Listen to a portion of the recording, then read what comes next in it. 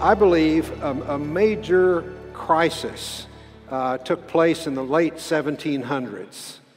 Uh, Christians in Europe, knowledgeable of the geological record, simply could not conceive at that point in time how the Genesis flood could possibly have produced so much geological change in such a brief event as the flood. And their failure to defend Genesis 6 through 8 as the explanation for the fossil bearing sediment record opened the door to naturalism on a grand scale. Well, um, it just so happens in the, in the providence of God that technology developed to detect submarines during World War II provided a crucial piece of the puzzle, previously unknown. And during the 1950s, maps of the seafloor began to become available. And it was uh, breathtaking. The results were breathtaking.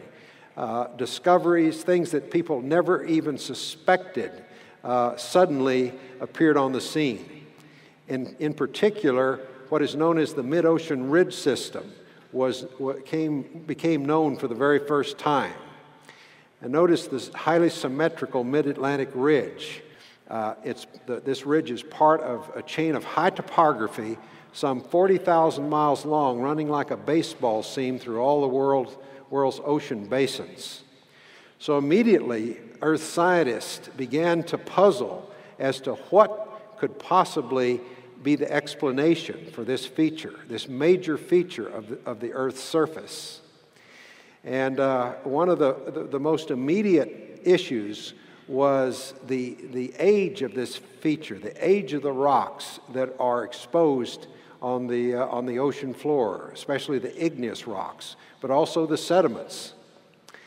And uh, an astonishing discovery was made, namely, the young age of today's seafloor.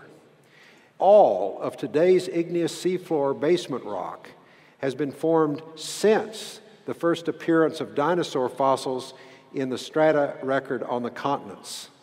In, the other, in other words, the world's ocean floors are younger than a, a, a large fraction of the sedimentary record on the, uh, on the continents. So, what are some of the methods that were employed to come to this conclusion? One way of, of getting a relative age, uh, age of, of rock in the ocean relative to the continents were fossil correlations between ocean bottom sediments and continental shelf sediments. The same uh, types of, of marine, generally small marine animals that have very distinctive shells many of which only appear once, only in a brief uh, time period in the past, uh, make these correlations possible. So it was found that the, the age of the sediment on the ocean floor correlated to recent sediments on the, on the continental shelves. In addition, uh, there was a, a magnetic reversal pattern that was discovered. And this pattern occurs in lavas uh, volcanic lavas on the continents. It occurs as uh, magnetic minerals uh, settle out, out of solution and, and appear in these sediment cores. Their, their alignments, their magnetic alignments can be measured, and one sees a, a, a magnetic reversal pattern in the sediment cores and also in the, in the uh, basaltic basement rocks of the ocean floor. The, the, these magnetic directions are recorded. And uh, these correlations also indicate that the, uh, uh, the ocean floor is young relative to the continental sediments. And finally, uh, there were rocks dredged from the ocean floor, and, and the radioisotope values could, from this basaltic basement rock could be compared with continental basalts. And again, it, it, it, it confirmed this young age for the ocean. So, this discovery that the ocean floor was young precipitate, precipitated a paradigm shift in the, in the earth sciences in the 1960s, a major paradigm shift. So, how does this discovery affect our understanding of the flood? Well, it implies that all of today's seafloor has been formed since roughly the midway point of the Genesis flood cataclysm.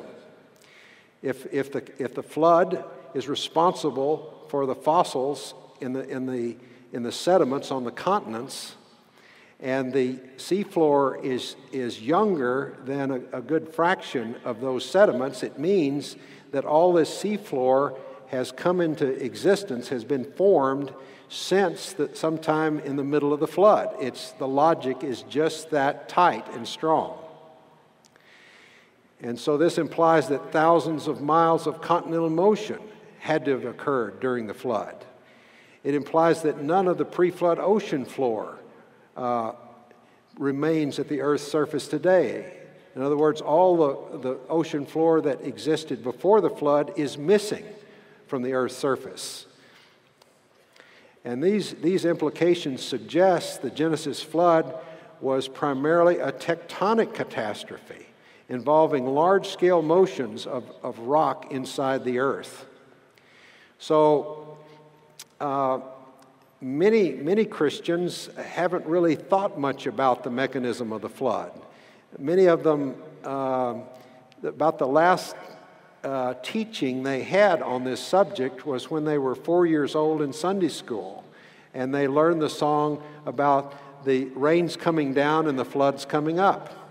Well, that's fine as far as it went, but uh, I, what, this, what this data is telling us is that there was a lot more to the Genesis flood than simply uh, uh, rain from above and rising waters from below. So let me at this point uh, give a, just a quick tutorial on the large scale structure of the earth. With this same photograph, uh, map I've shown before, let me focus on a number of features. One, that the continents uh, represent a layer of buoyant granitic crust uh, with a density of about 15% less than the rock beneath it and also the rock that makes up the ocean floor, uh, about 20 miles uh, in thickness of this lighter rock. And, and, the, and the ocean basins do not have that granitic layer. So that makes these continents uh, buoyant. They float, if you want to think of it this way, like giant icebergs in the heavier rock. It makes them unsinkable, basically, this, this light layer of rock on top. These mid ocean ridges uh, it was quickly uh, realized represent where pla- two plates are pulling apart and new ocean floor is, is being formed as, as uh, hot material rises to fill the gap. And then what are known as deep ocean trenches, for example, uh, that exist, for example, off the coast of, of South America and Central America, is, is where ocean plates are plunging into the earth, back into the earth. So, uh, just noting those features, this is a, a close up picture of what a, a, a, spreading ridge looks like today, where these plates are, in today's world, are moving apart very slowly, uh, like an inch or two per year. And we have material from below that, that uh, rises to fill a gap. And uh, all this, this, this rock is cooled by circulating ocean water in the, in the cracks as this, as this rock cools. And so uh, very little magma actually reaches the surface, but it does uh, rise up and fill the gap between these spreading plates. And uh, this is a close up uh, depiction of what it looks like at an ocean trench, where this, ocean, this cold layer of ocean plate is plunging back into the earth carrying down a little bit of, of sediment. Most of the sediment is scraped off at the top, but a little bit, a little bit of sediment is left on the plate along with some water. That water causes the material to have a lower melting point, so when it gets down to sufficient depth, there's a great deal of melting, and we get uh, volcanoes uh, typically, commonly. So the ring of fire around the Pacific is uh, corresponds to where you see the melting occurring here. Now, that's today's world. And uh, what I want to look at as, as a mechanism, a, a, mechanism I believe is responsible for the flood, is a, uh, can be described by the term catastrophic plate tectonics.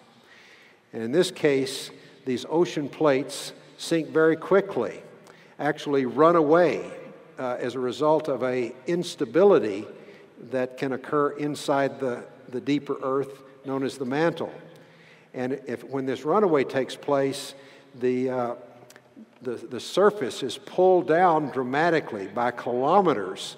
So this, this region where the plate is bending is, is pulled down uh, by many kilometers. And uh, this process, uh, and as well as the continent, adjacent continent, is also pulled down and flooded. So we have, have some, when this happens uh, uh, a million times faster or more than it is today, uh, some, some dramatic things take place. Uh, and then at mid ocean ridge, instead of it being really a ridge, you have a deep valley as these plates are pulled apart rapidly, and violent steam jets emerge from this deep valley uh, as, as, as this hot rock is rapidly uh, filling, filling the gap. So, catastrophic plate tectonics uh, basically relies on the fact that ocean plates can sink because they are cooler and therefore denser than the, the mantle rock below. This 2,000 thick layer of rock below the, the plates is known as the mantle. It's uh, almost everywhere solid, not liquid like a lot of people have been led to think. It's solid rock. And below that is the core, which is molten for the most part, a small solid inner core we know from seismology. So you, you, can basically divide the Earth into two main parts a rocky upper part, about 2,000 miles thick, and then a, uh, a, a mostly iron, mostly liquid inner, uh, core.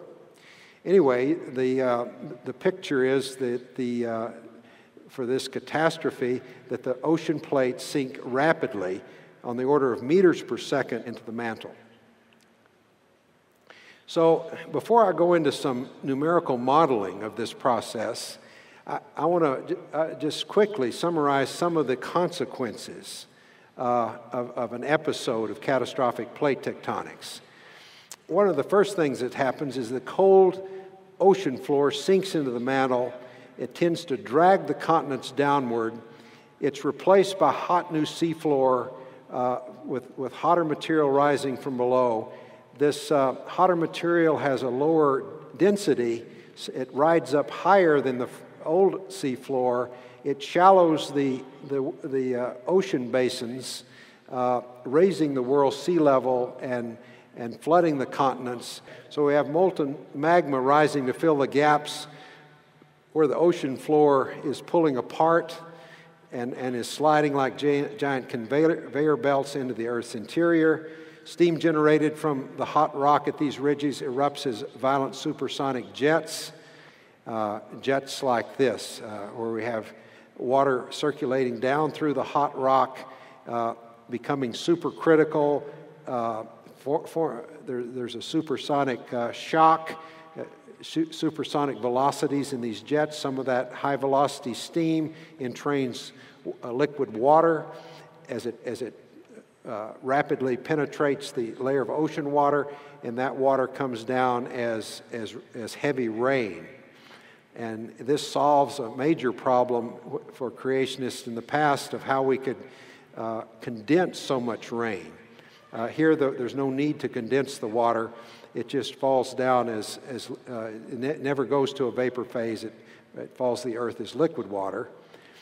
Uh, as these ocean plates plunge into the earth at the continent margins, sediment from the pre flood ocean bottom is scraped away and accumulates at the continent edges, provides a, a major source of sediment. Uh, as the hot rock from the base of the mantle rises and spreads rapidly beneath the ocean plates, the volume of the ocean basins is greatly diminished and the global sea level rises dramatically, as I've already indicated. Uh, intense water currents in the form of giant eddies and driven by the Earth's rotation arise over the flooded continental areas as the global sea level rises. I reported this at the 1994 International Conference on Creationism, a uh, chance discovery I made that these, these, uh, these high velocity currents uh, arise spontaneously, able to transport uh, vast amounts of sediment with, and they have great erosion uh, capability. And so uh, have, have velocities more than 100 miles an hour in these, in these large scale currents. So that's able to, to erode and transport large amounts of sediment and deposit it oh, and, and form laterally extensive sediment sequences. So thick sediment sequences are spread out in blanket-like manner over the emerged regions of continent. Uh, to produce this layer cake uh, pattern of sediments over the continents. And of course, most living organisms perish in such a catastrophe. Some are preserved as fossils, uh, like these dinosaur bones. Uh, and thus we have a, a record of this catastrophe as these floodwaters encroach onto the continents at higher and higher top, uh, topographic levels in the continents, destroying successive ecological uh, regions on, these, on the continents. The flow of rock in the mantle, driven by the sinking seafloor slabs, moves the continents apart by thousands of miles and opens the Atlantic and Indian Oceans. So we have, for the most part, North and South America moving westward relative to Europe and Asia and opening the Atlantic Ocean and forming this mid ocean ridge where, where the seafloor is spreading apart. Now, th- all of this is driven by the gravitational potential energy of these heavy seafloor slabs that have, a, have this natural tendency to sink. However, when they reach the bottom of the mantle, and when the hot, hot rock at the bottom of the mantle reaches the top, this uh, potential energy is uh, mostly exhausted. And when this happens, the runaway episode ends velocities and stresses diminish, extreme surface deformations relax, and the global sea level begins to fall. And I'm going to show a calculation in a moment, an animation, where uh, after this, uh, it shows this runaway uh, mechanism. And uh, after the cold material spreads out over the bottom, the hot material spreads out beneath the surface, the velocities fall very rapidly towards zero. So after this, the water rushes from the continents, erodes, and reworks much previously deposited sediment. Uh, much of the, the sediment you see on the uh, left hand side of this figure uh, was also on the right hand side of the figure uh, and has since been eroded away. And almost certainly it was eroded away in the runoff stage of the flood. Massive runoff from the continents. And uh, another feature, uh, another aspect of what happened after the flood, zones of thick and low density crust, mostly re- the, uh, the result of subduction at a continent edge.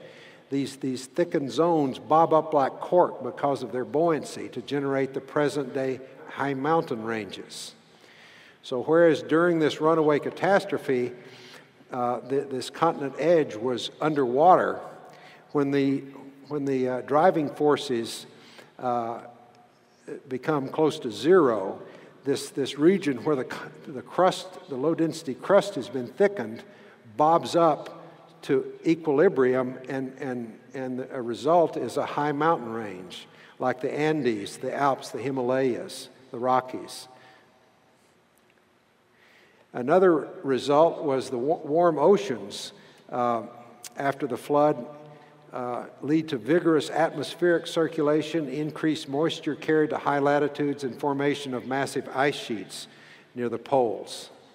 And, and this map shows the greatest extent of the ice sheets in uh, northeastern Asia, Europe, and North America that would logically follow as a result of the flood catastrophe and the oceans getting warm during the flood.